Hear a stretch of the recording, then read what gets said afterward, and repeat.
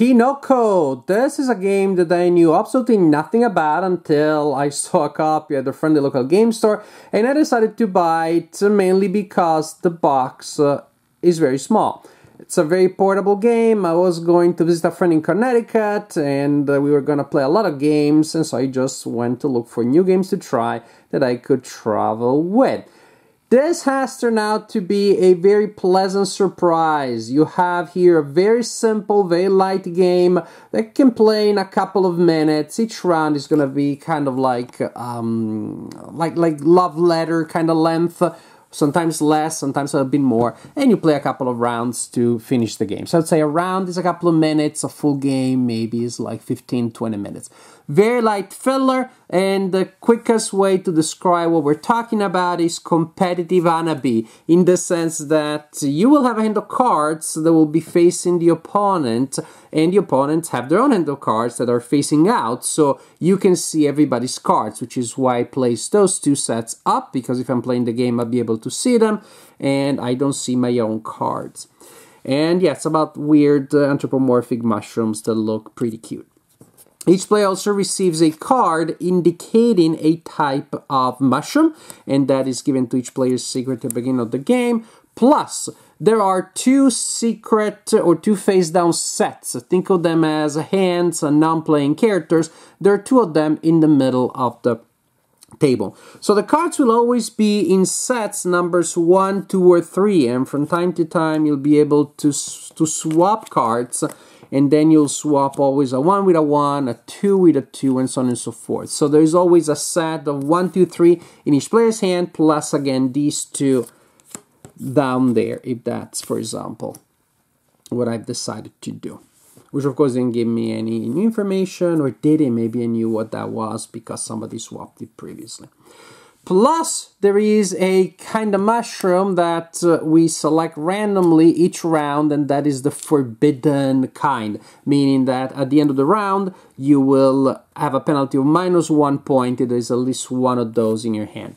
What is the purpose of the game, by the way? To create a set of your own kind of mushroom. Uh, so if there is uh, one purple, two purple, three purple in a single set, anywhere, doesn't have to be mine, I win the round and it scored two points. And so basically you will take your turn and after that you can call the end of the round. At that point all hands are revealed and if your set is present anywhere, very often it'll be in someone's hand, then you score two points.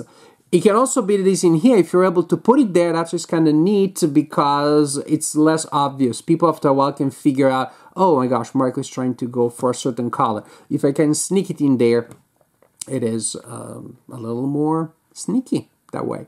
Now, um, if you call the end of the round because you think you have it and you don't, then everybody else scores a point, but I still have to see that happen. Now, when it is your turn, players will alternate taking turns. You roll these three dice.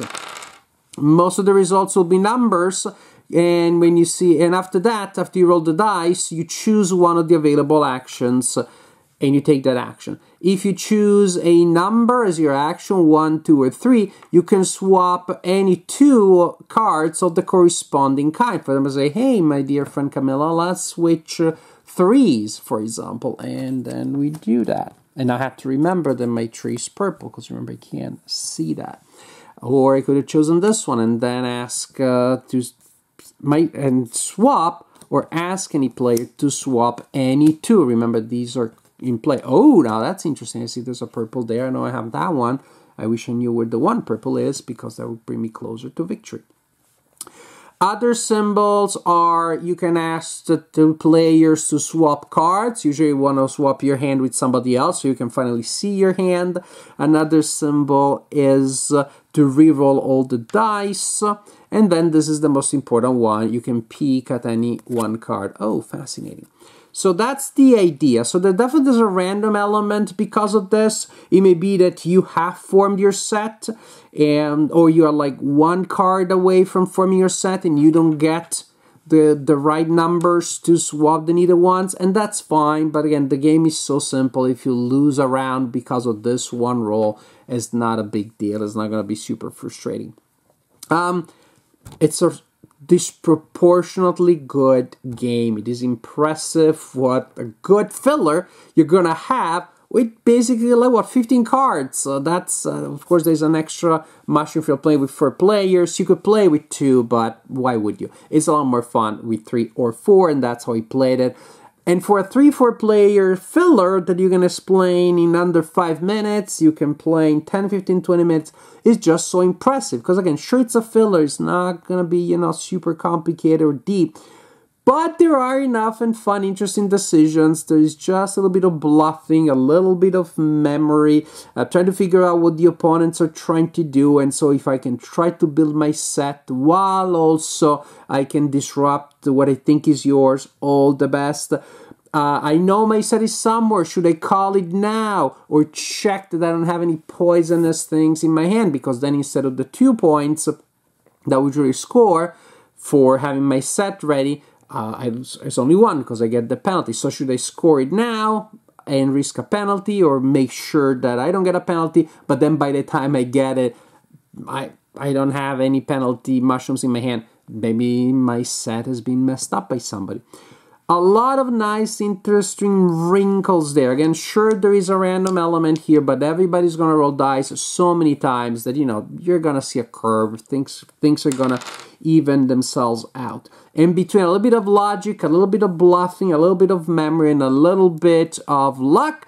This game has a little bit of a lot of good things that, again, they are combined well in a way that everybody played it. Was just like at the beginning, like, sure, let's play this.